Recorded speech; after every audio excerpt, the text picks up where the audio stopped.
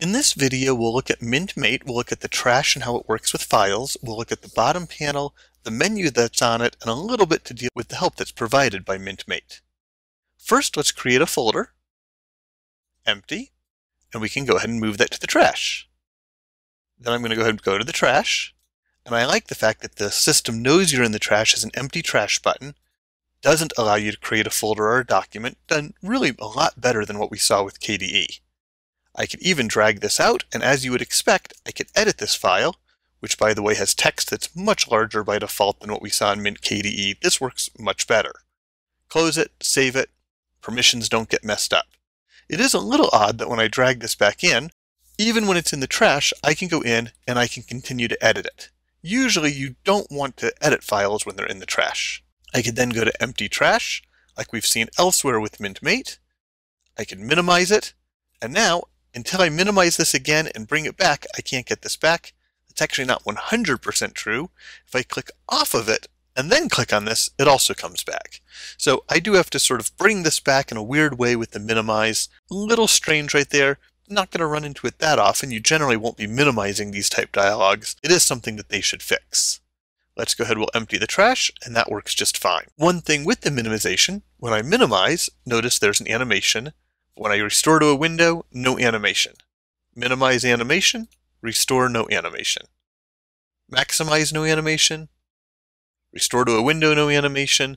Only when minimizing do I get any type of animation. Something else that I found is when I right click on this, they have all sorts of things dealing with what workspace is it on, that I guess is okay. It's not really designed though so that you're focused much on the workspace. Seems like all of these could be a submenu here. But if I go ahead and I move this over to say workspace 4, where did it go and how do I get there? There's no obvious way. If I go ahead and I go into here, I can type in workspace. Doesn't really come up with anything. There's no good workspace tool, anything that it's finding. What I did find though is if I right click anywhere on here, I could add this anywhere, and I say add to panel, at the very bottom, there is a workspace switcher. I can add to that, then close this, and now I can go ahead get to my workspace. And if I want to move this back to workspace 1, which is where I want it, I'll move myself to workspace 1, and then since we won't be using this, I'll remove that from the panel. But for something that's not even there by default, all of this is devoted. Again, it would be better to have all of that in a submenu. Let's go ahead and close this, and we'll look at the main menu. When I click on it, one thing that I've noticed is when I mouse over these, they show me that I can click on them and they have a little bit of information. That's nice. When I click on these though, mousing over automatically switches these things over. A little inconsistency, but it's not bad. These are sort of subfolders. Would be nice if they had little arrows here or something. And when I moused over this, if it looked like this right here, this would look different because it acts different. These over here work more like this. You'd think they would look the same.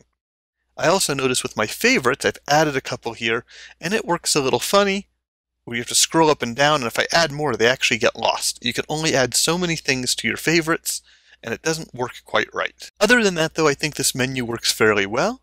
If we go ahead and take a look at these right here, I can fairly quickly get to pretty much any application I want. I could add to my favorites. Limited number would be nice if I could have more, but that's okay.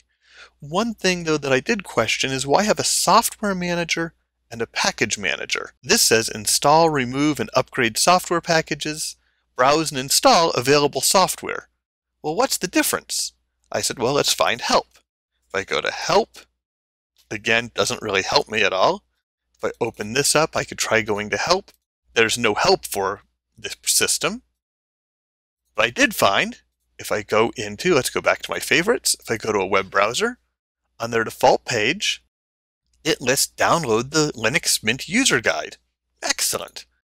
Now if we look at my desktop, I'm on Linux Mint 16. I click on this, the English is only in version 15. The French is only on version 9. Scrolling down, the Greek is on version 5. In fact, none of these give you an option for 16, except at the very bottom, we have Turkish version 16.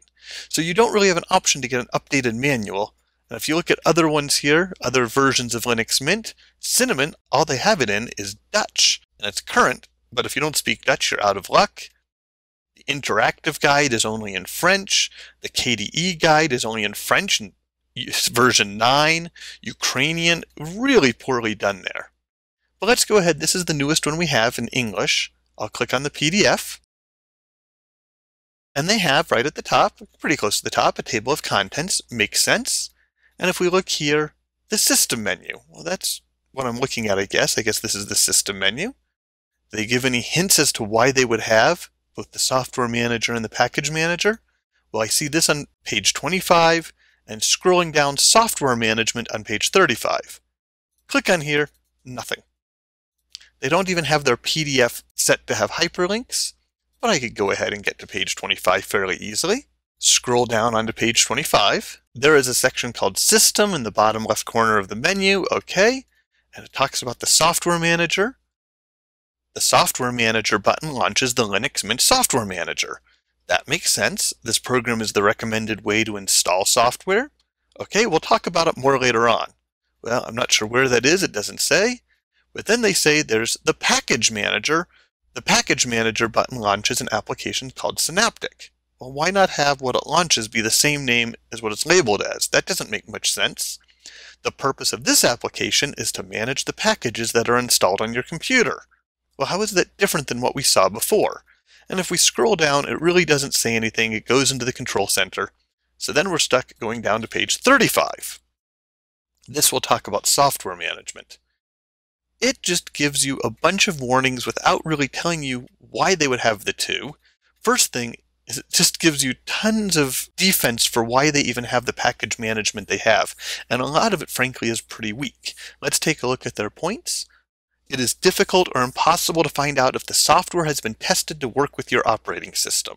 That's a weakness of the Linux ecosystem in general. It is difficult or impossible to know how this software will interact with the other software installed on your system. Software shouldn't be affecting other software, maybe some drivers, things like that, but each thing should be contained and you shouldn't be worrying about how they're going to interact and fight with each other. It is difficult or impossible to know if you can place your trust that software from an unknown developer software will not cause any harm. That's a little oddly worded there, but pretty much you don't know if you can trust software. Well, that's true on any system you don't know, but if you're getting it from a reputable company, you should be fairly secure knowing that it's not going to cause harm to your system, and of course there's virus and malware checkers to test that out. That's probably the strongest of the three, but it really does not speak well for the Linux ecosystem, and it doesn't answer our question. If we keep going down, they keep just going on with this defense of why they have this system, don't get me wrong, I think repositories are great, but they don't need this much defense. Anyway, we keep going down. Finally, on page 40, we get to the software manager and then the menu. If you know what you're looking for, you don't need to launch anything. Well, you could just install it this way, but then they get into the Synaptic, which remember, to get to Synaptic, you have to go to software manager. They don't just call it Synaptic. If you want to install more than one application, so maybe that's why you would use it, they're just never really that clear. They say that the other one is the recommended one. This package manager is recommended. Software manager, if you want to install more than one piece of software, I guess. Really would be nice to combine the two, maybe having the package manager something that opens up Synaptic. I think that that's a little bit of a weakness there, but it's not that big of a weakness. It led me to finding, though, this bigger weakness that their user guide is just grossly outdated and there is no real help for Linux Mint.